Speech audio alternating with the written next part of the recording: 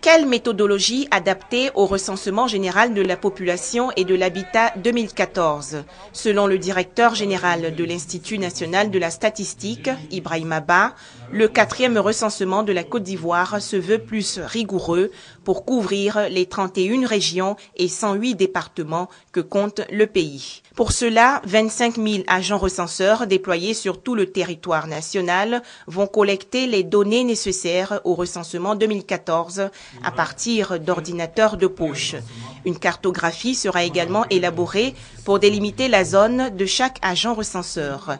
Le ministre du Plan et du Développement, Albert Mabritoikeus, par ailleurs président du Comité national du recensement général de la population et de l'habitat 2014, invite les professionnels des médias à suivre quotidiennement les activités des agents recenseurs. C'est un moment de mobilisation euh, pour les Ivoiriens pour tous ceux qui sont en Côte d'Ivoire, euh, pour les Ivoiriens de l'étranger, mais cette mobilisation, parce que justement nous l'avons expliqué l'année dernière, doit commencer par la presse et avec la presse. L'occasion également pour le ministre Mabri de remettre symboliquement aux organisations professionnelles des médias la plateforme de collaboration signée en 2013 entre la presse nationale et le Comité national de recensement général de la population. Le quatrième recensement général de la population va se dérouler du 10 mars au 9 avril prochain.